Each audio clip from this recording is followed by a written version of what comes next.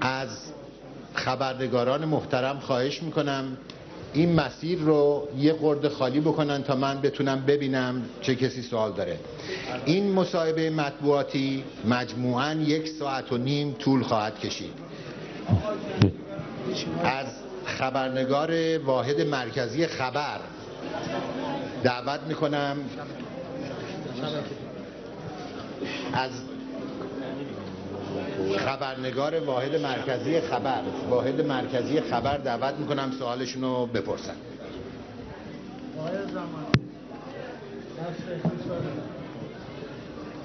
جناب آقای روحانی خسته نباشید مبارکتون باشه. من از طرف مجموعه همکارانم در واحد مرکزی خبر صدا سیما انتخاب و پیروزی شما رو تبریک میگم.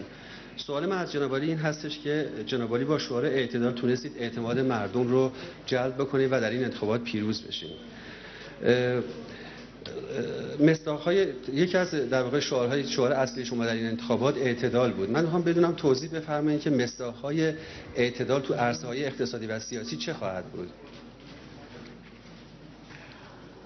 اعتدال همون مش و شیوهی هست که چه در زمینه اقتصادی چه در زمینه سیاسی و چه در زمینه فرهنگی راه تندروی و افراط و شعار راه خودمهوری راه خودشیفتگی رو نمی پیماید اقلانیت و اعتدال متکی هست به مشورت متکی هست به خرد جمعی متکی هست به برآورد هزینه ها و فایده ها و متکی هست به اینکه مسیر قانونگرایی رو دنبال بکنه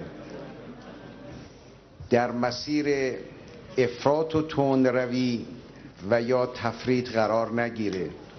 البته در مستاق هر موردی در جایش بنده توضیح خواهم داد که چگونه ما می‌تونیم با مش اعتدال به اهدافمون دست یابیم؟